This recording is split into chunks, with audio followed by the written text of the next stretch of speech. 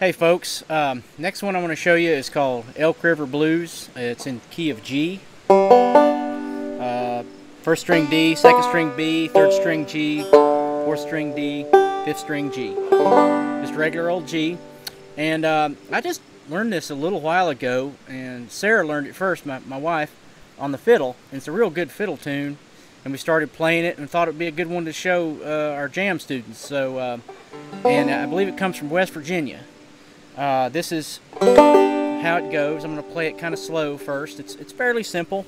Um, and there's some chords in it. Of course, your G chord, and then your E minor, uh, first string, second fret, fourth string, second fret, makes your minor, and then a D7, which is second string, first fret, third string, second fret. That chord's in it too. And whenever I have one of those notes that's in that, I'll make that chord and do the bump ditty, like I've showed y'all before. It goes like this.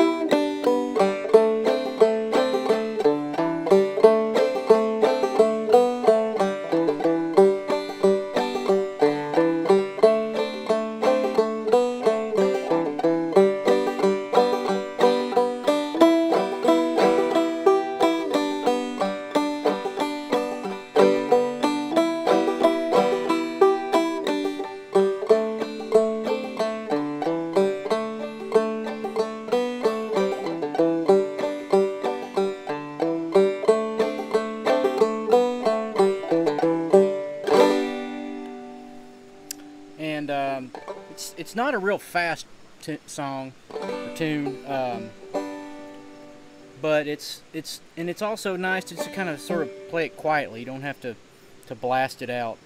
Uh, but I'll I'll play it a little bit more. It's it's and that's a real simple version, but now I'll maybe speed it up just a little and add some some things to it. But it sounds good. Some a lot of like a lot of tunes, it sounds good just to be sort of played simply.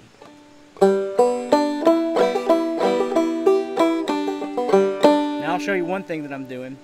Uh, the, the, one of the notes is this note here, first string, fifth fret. But instead of doing that, I'm just going to catch that with my thumb. So I won't have to go all the way up here. It's just a lot easier, and I'll, I'll kind of lean forward when I do that.